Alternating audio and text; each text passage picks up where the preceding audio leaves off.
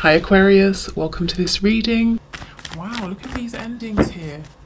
Okay, your person. Ooh, okay. Something has happened here.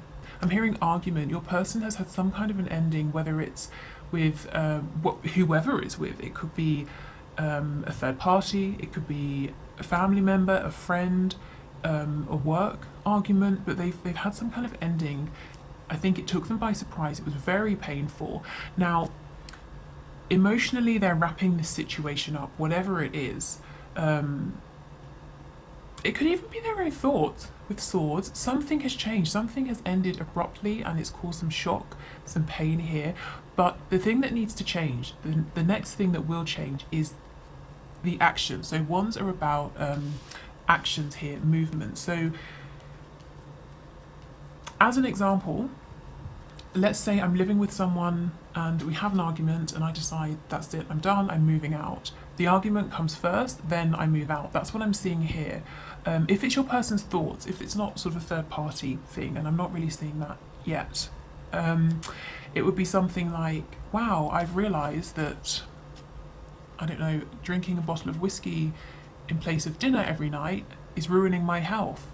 I should stop that. Um, you know, then the action, then I stop doing that. That comes next. Okay. Whatever this is, it's obviously um, significant to your connection. So we'll go back after we've pulled three more cards and see what this is and, and see why your person wants for you to know this today. Your person, I'm hearing, owes you a message. They feel like they owe they owe you some kind of a response or communication, and they feel that until they give you this, something can't be completed. A new beginning can't happen. Do you see how this is the new beginning they want, but this needs to end first? They're overthinking. They are really, really thinking about you and about this message. But so much so, you know, their mind is tired. They actually need a rest. They need to take a break from thinking about this. Wow. Okay. They see you as a soulmate. They see you as their other half here.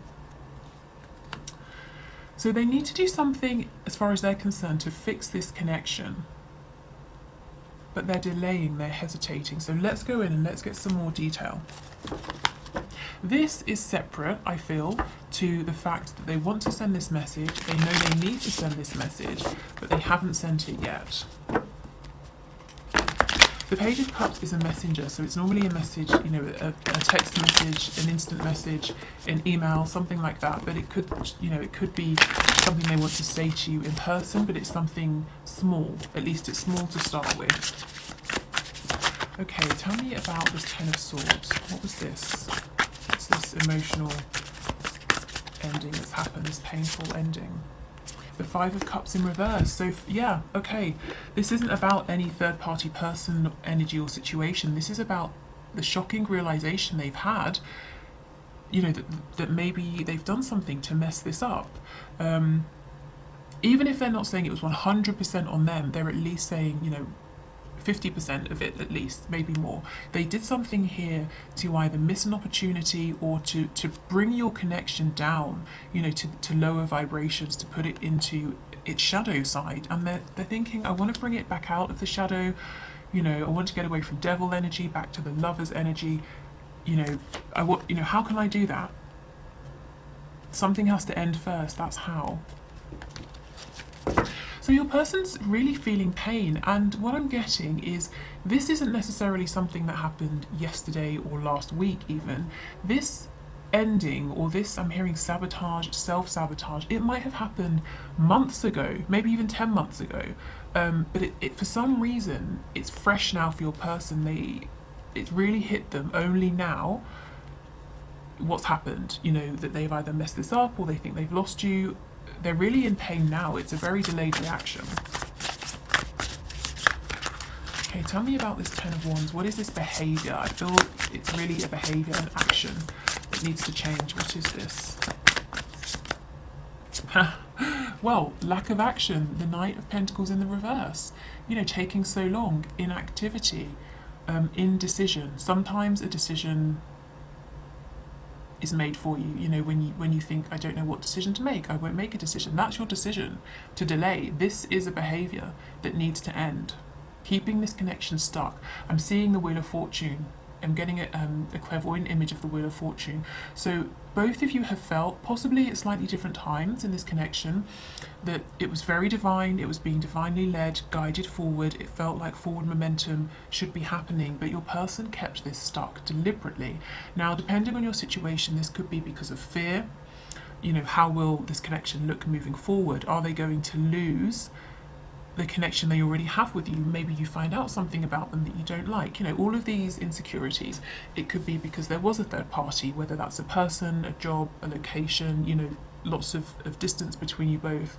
Um, but either way, your person has been deliberately keeping things stuck and they're saying, wow, like, you know, like their mind is blown because they've only just fully realized how much of a role this stagnant energy has played in this ending and you know you might be saying how come you know obviously why is it taking them so long? But there's a difference isn't there? You can know something or you can hear something but do you really understand it? You know when you're having a conversation someone's saying something you're hearing it but so many times the way you're hearing things interpreting things is not what the person means you know? So for some reason it's like your person's just woken up Tell me about this message, please. What is this communication that, that they need to send or give? What's this? What's this message about? The Nine of Pentacles in the reverse. The King of Wands. The Six of Cups. Okay, something to do with their past. There's an attachment here. Um, it could be an attachment to a wound that was picked up in childhood.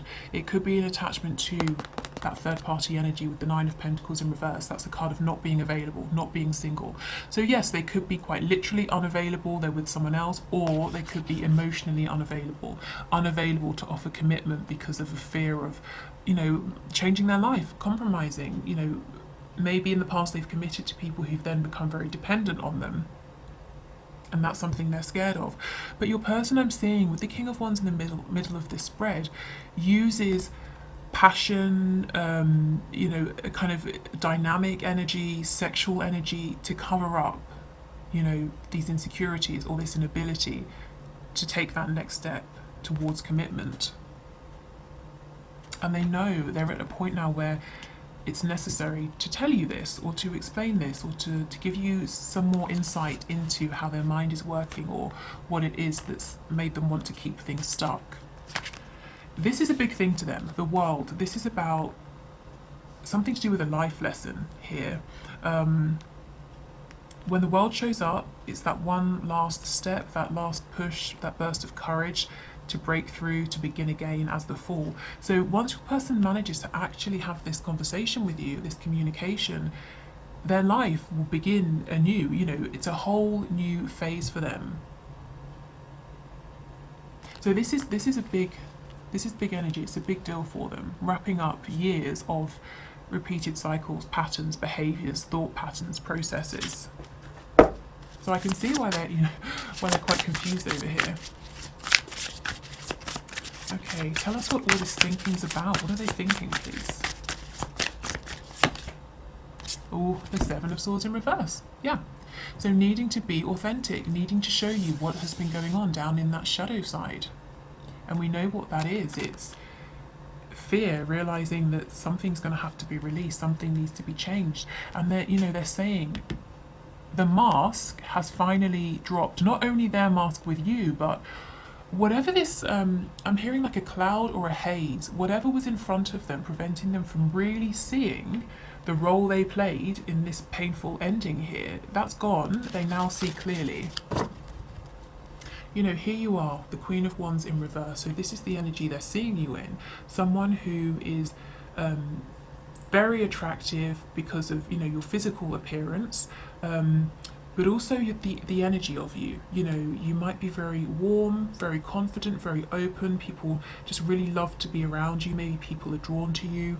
Someone who's very successful, but you, you do have that kind of softer side that's very intuitive as well.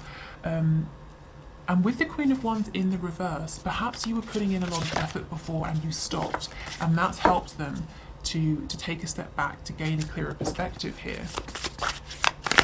And this was part of what's been going on, especially if you're in separation, if you haven't heard from your person as well, and it's been months, and you're thinking, what, you know, what's been going on with them? It's been a fairly slow process. You know, first they had to think, they had to notice you stopped chasing them or stop putting in a lot of effort. Then they had to think about why. Then they had to think about their role in this, and now they've come to this revelation here. We don't have the tower, or at least we don't have it yet, but that's the energy I'm feeling. It's like this this clarity just hit them out of nowhere. Okay, so tell me about this Ace of Wands. What does this look like? I'm hearing the future. So, what sort of future do these divine masculines and soulmates imagine or envision with my subscribers? What do they want for this this new opportunity? How do they want to see this future unfold? Wow, the Queen of Pentacles. So this is commitment. This is making you a spouse, a wife, a husband. Um, I'm not even going to clarify beyond this because you know, you know how big this is. Look at this. They they want commitment with you, with their soulmate. And I'm telling you, this is this is linked to this massive revelation they've had of, oh shit, I cannot believe I fucked this up with this person I want to be with for the rest of my life. I can't believe it took me this long to see it. And now I know what I have to do, and I'm really scared of doing it. I know how I have to present myself, and this terrifies me. I have to be authentic, I have to be some kind of vulnerable here, you know, however it looks for them. Big message. Okay, that's that's pretty exciting though. Okay, so let's do the the winner. So the question, the one question, one card reading. So I'll put the footage here, and then we'll go to um, to the the reading after.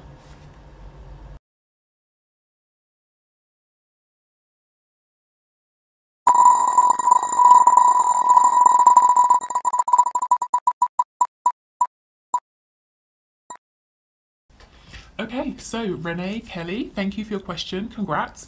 So let's see, is your twin flame finally going to stop ghosting you uh, and stay and stick around? So, Spirit, can you please show us? Is Renee's twin flame finally going to stop ghosting her and actually stick around? Okay, can you give us one card, please? It's Renee's twin flame. Okay, we have the world in the reverse. So what I'm seeing here is eventually, yes, but maybe not right now. You know, the world in reverse. You know, we saw this in, in the main reading as well. So it's a cycle when it's repeating, it's going around and around, um, and it's linked to something much bigger, much deeper. So on the surface, it's just, you can't maybe see a reason for it, it's infuriating, and you're thinking, you know, for heaven's sake, what's the problem? Just speak to me. Or why do you keep ghosting me? It's linked to something much deeper, whether it's a life lesson um, that your twin is learning and wanted to to experience before incarnating. Um, it might be a wound. It could even be past life karma. So eventually, yes, but for now, unfortunately, it looks like your twin is, is still on this cycle. So um, please just don't take it personally. The world is major arcana, so this is bigger than you. It's, it's probably bigger than your twin in a 3D sense. So just remember, it's not personal.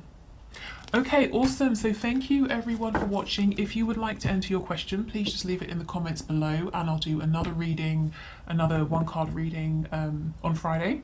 If you'd like to book a personal reading with me, the link is in the description box. But I hope this helped. Thank you for watching and speak soon. Bye.